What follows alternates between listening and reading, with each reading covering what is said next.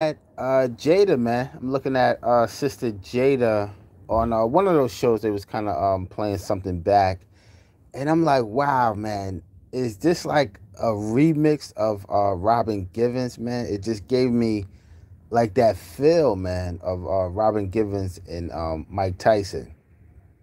It gave me that feel. Now I know Jada uh, wrote a book. She wrote a book, and I, th- I believe that comes out Monday uh, along with an interview that she's doing on one of those morning shows, man. And um, yeah, it definitely uh, made me think of Mike and Robin Givens because it just gives me like that, like that vibe that she's throwing Will under the bus, because now she's saying that she, her and Will been been split since 2016.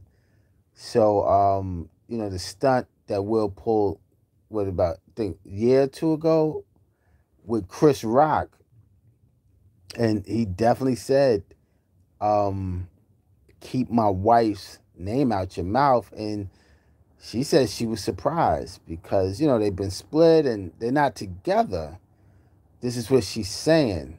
So, um, wow. So she said it kind of surprised her, and uh, she explained how uh, Chris Rock approached her uh, with a with a um with apology and and whatnot. Um, she said Will was furious. You know, Will was tight.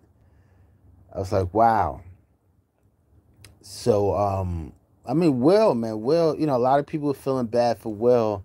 Like I said yesterday, Will, Will's a powerful brother, man. Uh, good looking brother. I'm pretty sure Will could have any woman, you know, walking this earth at the drop of a dime, but it's something about Jada. Something about Jada.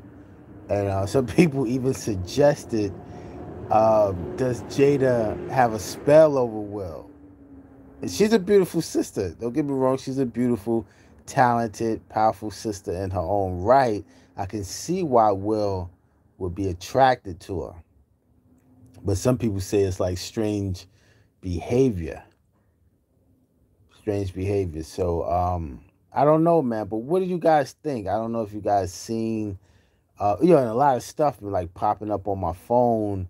Um, these news websites, and it's just been Jada. Jada, she's like taking over uh, this this little week, and then she's gonna start off next week with an interview and a book release. So she's um, so she wow, so she's really, I guess, trying to do her numbers, man. Um, salute to Will, man. I don't know what's up with Will.